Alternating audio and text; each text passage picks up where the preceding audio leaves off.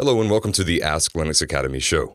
We take your questions from Facebook, Twitter, YouTube, wherever else, using the Ask Linux Academy hashtag, and we'll answer them on this show. You can have questions about AWS. You can have questions about uh, just our general day to day here at Linux Academy. You can ask whatever you like, honestly. If you like the questions, we'll pick them and we'll have somebody who gives a good answer answer it for you. We've actually got Tom today, and we're focusing on AWS questions. So let's get right to it.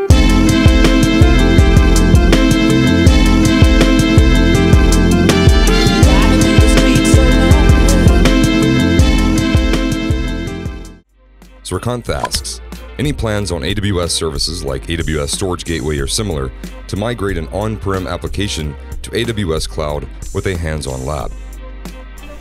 Okay, so the short answer to your question is yes. However, there's a bit of a caveat, a bit of a longer answer to that question, and that is that we don't have an on-premise data center with all this data that you can move over. So we have to figure out how to virtualize the process. And that's something we've been working on across a lot of different labs for AWS. So that is, is something that we're absolutely working on and are going to have for you guys probably within the next couple of months if I were to take a guess. So keep a lookout for that as it's something we're definitely working on.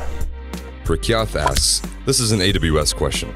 So AWS has added a bunch of new tools recently, which has not been covered in certifications. How does Amazon decide which tools need to be covered for the certification exams? Is it perhaps by demand?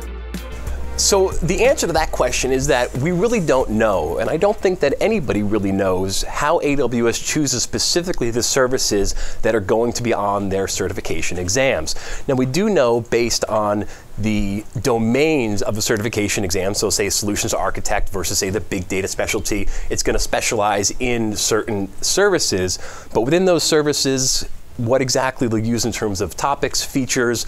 We generally don't know how they go about selecting those. We just know as a result when either we get the blueprint or take the exam what those topics actually are. Krishna asks, what is the order of the AWS certifications that I need to concentrate on as a guy with no prior AWS experience? Okay, so you have no AWS experience and you're wondering where you should start in terms of AWS certifications. Well, I always recommend that people new to AWS start with the AWS Certified Solutions Architect certification exam. Now, that is important because that course and certification really covers the broadest amount of AWS services and features and will give you a great foundation to move on from. After that, you can move on to the associate level sysops or associate level developer exams. And then building upon that, if you're ready for the pro level exams, you can move on to the Certified Solutions Architect Pro or the DevOps Pro. Akshay Kumar asks, how do I get started with AWS and get to an expert level in six months? So you have no AWS experience and you want to be an expert in six months. Well, for that, I would have to ask you what exactly your definition of expert would be. Now, could you maybe be an expert in one particular AWS service in six months? Maybe. Although I think that may be tricky. If you want to be considered a overall AWS expert, that's something that's going to take years, and there's no amount of study that you can do within a six-month period in order to accomplish that. AWS is just too large. There's too many services. There's so much to know that you really have to spend several years using AWS to be considered an expert. I would say, however, that it is possible to study for and pass several of the certification exams within a six month period, but until you then get the requisite hands on experience, production experience that is required to really be called an expert, and that's something that's going to take a much longer time, probably at least a few years. From Mr. Rahman. As we know, Spot instances can be up to 98% cheaper than regular EC2 instances. So when should I use a Spot instance, and what might be the best use of it? All right, so we all know that spot pricing is a great way to save money on EC2 instances. However, a lot of people wondering when is it a right time to use spot instances? What's up, Terry? And also, when and why should we use spot instances? So, the way that I always determine about whether or not we should use spot instances is is the work that you're going to have the instances do can it be stopped and started at will? Meaning, can it be interrupted?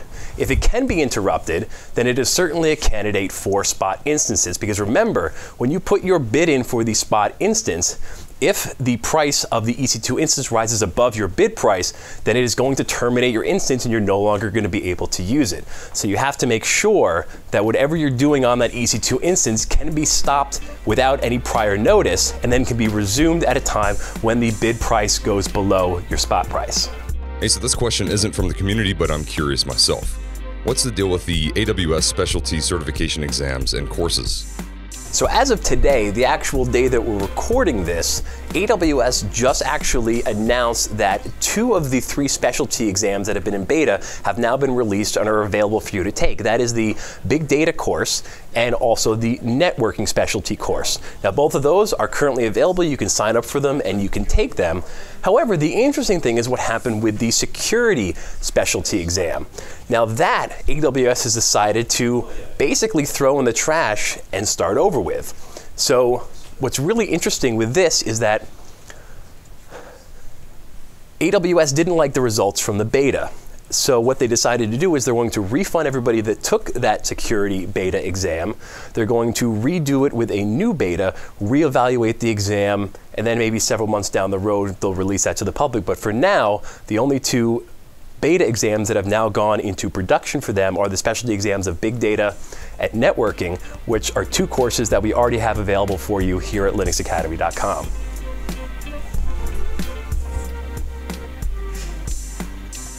This one comes from Devendra on Twitter. Hello, Devendra.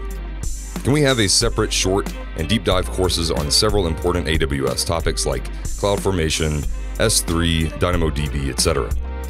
So in terms of specific deep dive courses, that is something that we're looking to do in the coming months here at linuxacademy.com.